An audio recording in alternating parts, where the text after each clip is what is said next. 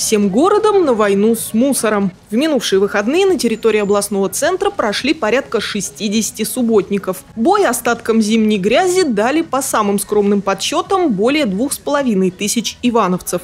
В каждом микрорайоне местные активисты организовали площадки с инвентарем. Присоединиться мог каждый. Навести чистоту на территории 41-й школы, а заодно и прилегающего к ней парка Харенко предложило руководство образовательного учреждения. К благому делу присоединились больше 300 человек. Это наши школьники, порядка 14 классов мы пригласили, отозвались на нашу акцию. Также родители вместе со школьниками. А, мы также приглашали муниципальное учреждение, потому что мы сегодня берем не только территорию нашей школы, мы берем улицу маршала Жаворонкова, первую лагерную, вторую лагерную, третью лагерную, муниципальное учреждение, детский сад номер 67, 172 отозвался, 12 сад, муниципальное учреждение «Восток», сеть магазинов «Пятерочка», молодежный центр, сеть магазинов «Высшая лига». То есть вот мы таким вот решили отрядом провести вот такую акцию, чтобы убрать всю, всю нашу территорию, особенно ту территорию, по которой ходят наши дети. Для школьников постарались создать все условия для того, чтобы это не воспринималось как повинность, а было веселым и интересным времяпрепровождением на свежем воздухе, под хорошую музыку и в компании одноклассников. Я считаю, что школа – это наш второй дом, а так как в доме надо убираться, чтобы он был в чистоте и порядке, Поэтому здесь собрались, чтобы навести порядок и во втором нашем доме. Ну, коллективом проще. Во-первых, это дружнее, во-вторых, веселее. Ни один как-то не особо убираться, а все вместе друг друга поддерживаем, помогаем друг другу.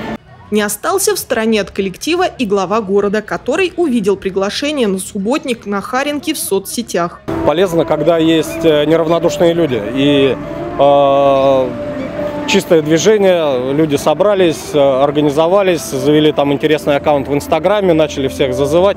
Ну, конечно, мы этому только рады. Или вот э, Наталья Викторовна, к примеру, собрала всех окрестных предпринимателей, провела встречу с э, э, предпринимателями, жителями, э, окрестного района, да, и, конечно, тоже вот мы видим, ну, насколько масштабное событие можно организовать, просто если есть люди, которые заинтересованы в том, чтобы наш город стал лучше.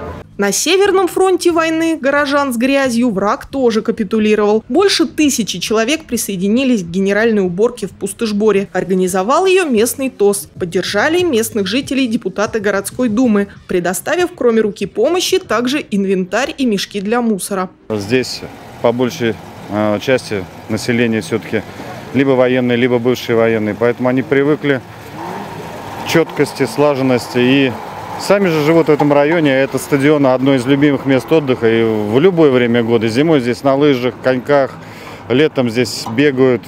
Лес тоже приносит свои определенные удовольствия.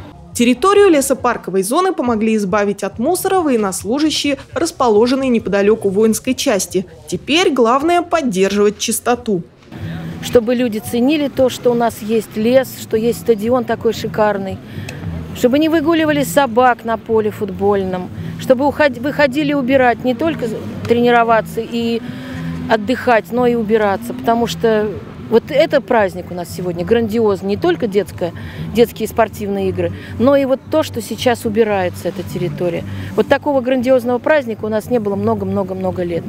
Кто работает, тот ест, решили военные и после субботника угостили его участников настоящей солдатской кашей. Так что с чувством выполненного долга и сытости жители микрорайона еще долго не расходились по домам. Были и другие субботники, может менее массовые, но тоже достойные уважения. Следующая задача – избавиться от пакетов с мусором, образовавшихся на обочинах дорог. Для этого на интернет-портале Иваново РФ создали интерактивную карту. Если отметить на ней участок, с которого нужно забрать мешки, уже в течение пары дней за ними приедет машина. И война с мусором завершится безоговорочной победой ивановцев. Наталья Гутарина, Антон Осипов, РТВ Иваново.